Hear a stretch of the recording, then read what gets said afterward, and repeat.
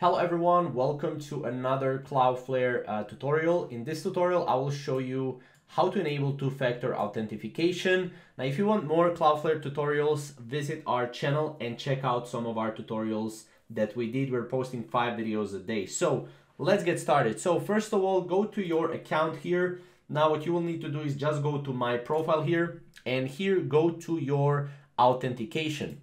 Here you will be able to change your password or uh, set up your two-factor authentication. So let's click setup and as you can see it's currently disabled so what we can do is we can uh, make security key authentication or mobile app authentication. So uh, we can do mobile app here and as you can see you will need to install an authenticator app on your mobile device. You will need to scan the following QR code in your app and then you will need to enter the code from your authentication app below here and enter your password as well. Then you can go next.